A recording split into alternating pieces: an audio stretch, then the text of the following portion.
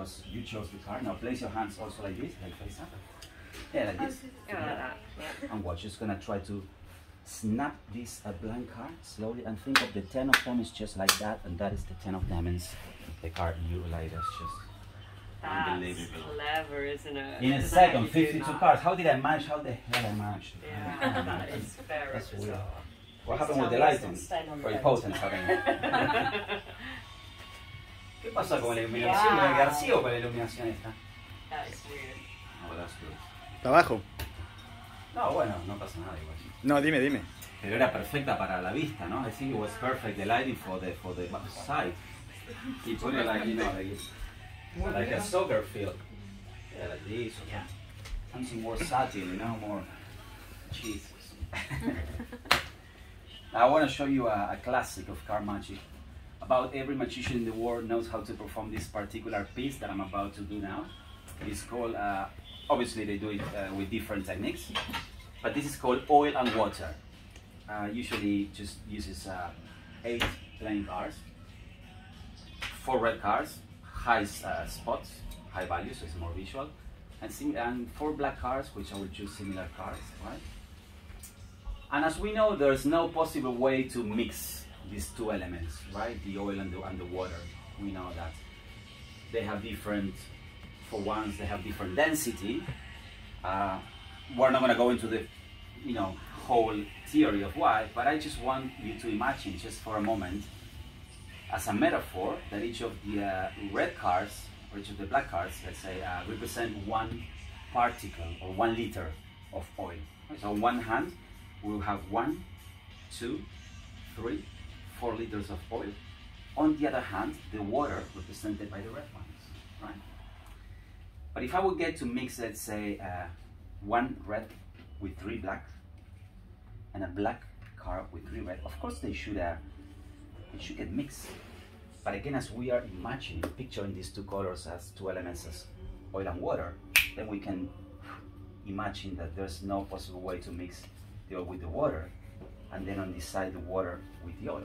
And I could try, let's say, maybe with uh, two cards. Why not?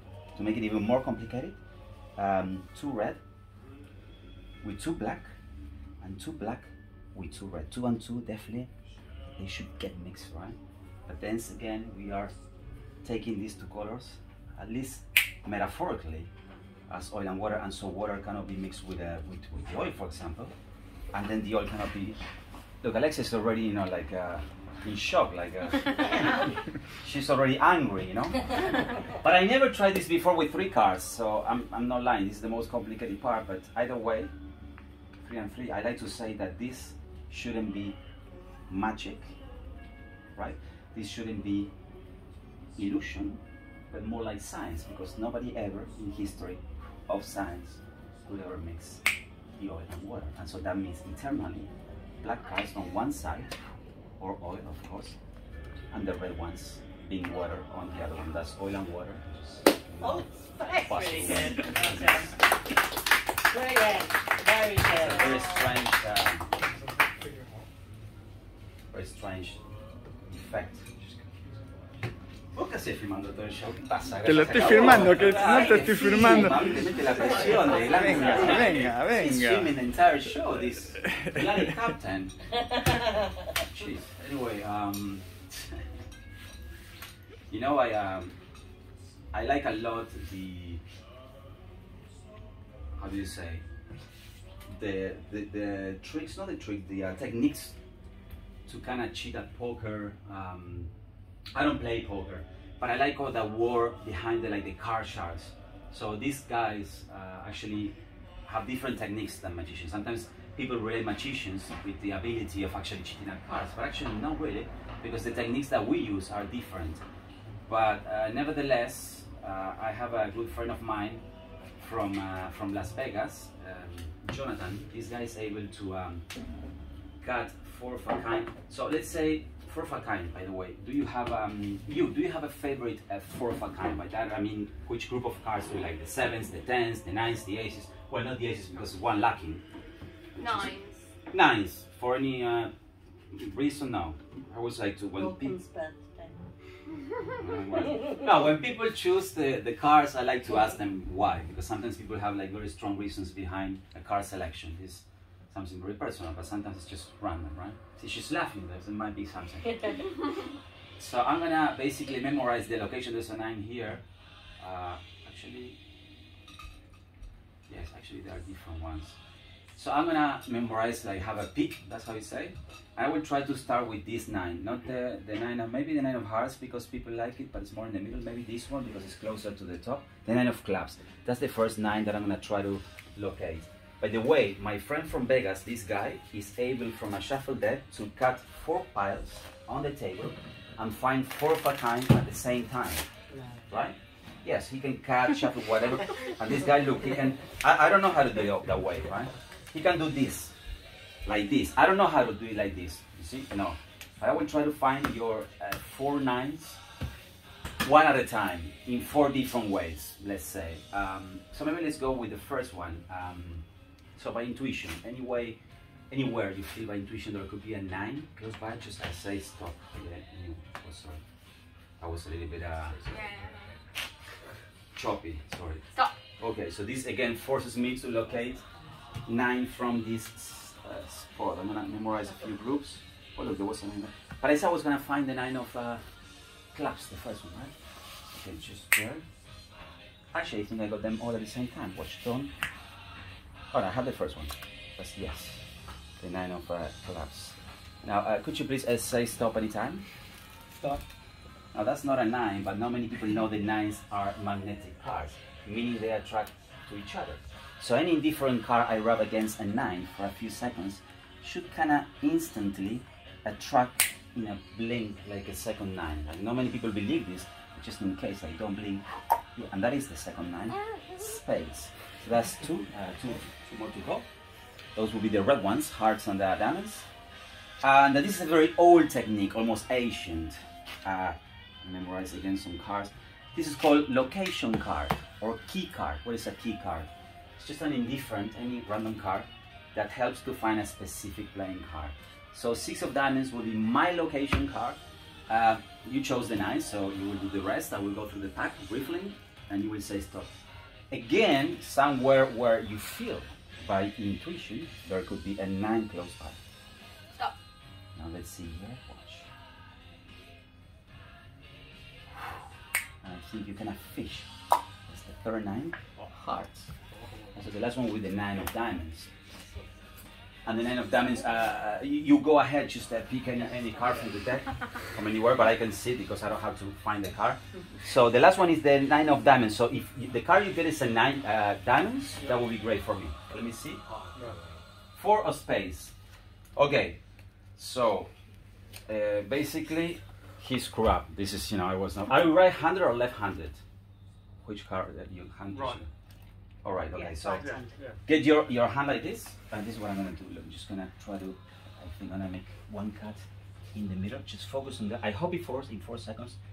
It's four, three, two, one. That's the last one. I think it's the, yeah, the nine of diamonds. So that's right there. Spot is actually, yeah, they go to the top. That was the first place when you saw that.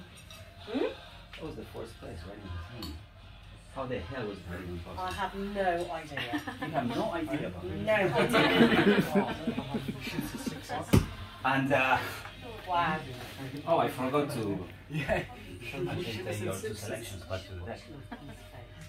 Okay, and I have, uh, I will try to do one more uh, illusion that I like to close with uh, a lot of playing cards, like you saw tonight.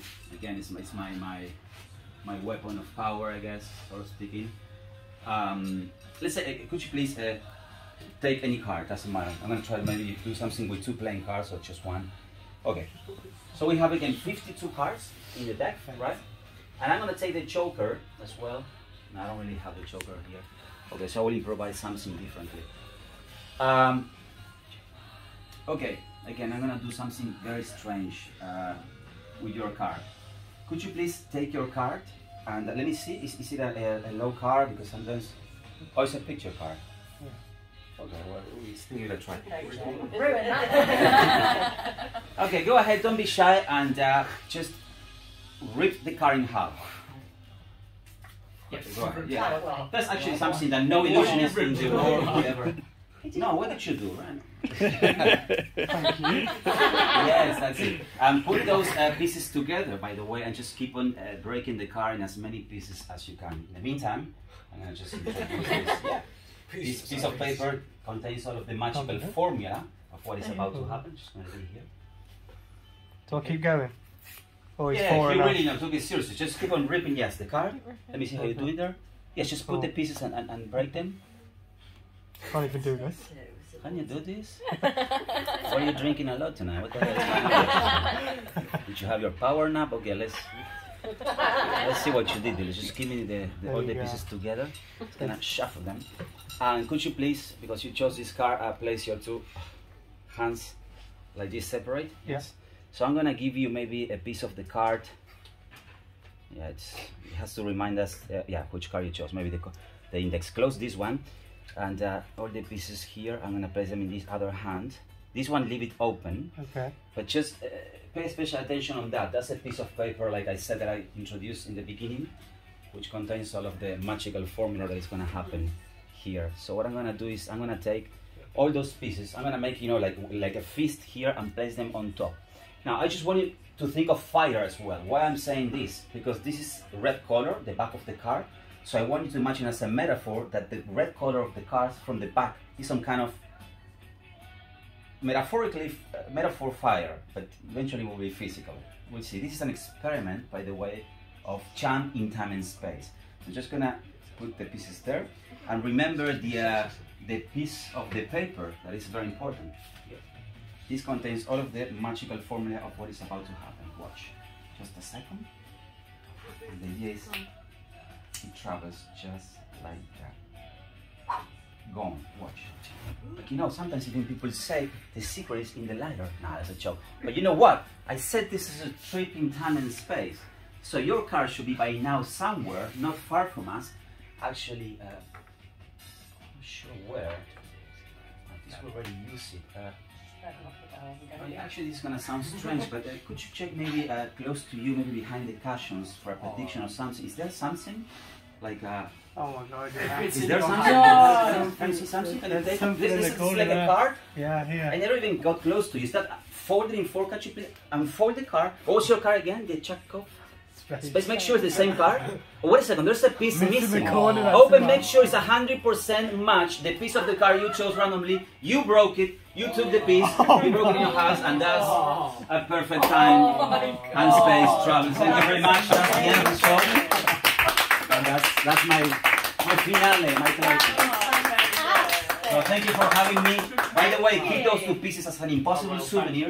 You, Alexa, keep your sign, lucky eight of hearts. And anyway, guys, enjoy the rest of your time.